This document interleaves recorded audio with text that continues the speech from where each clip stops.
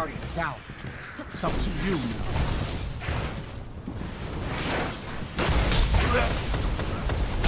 Double kill. Enemy team eliminated. Targets.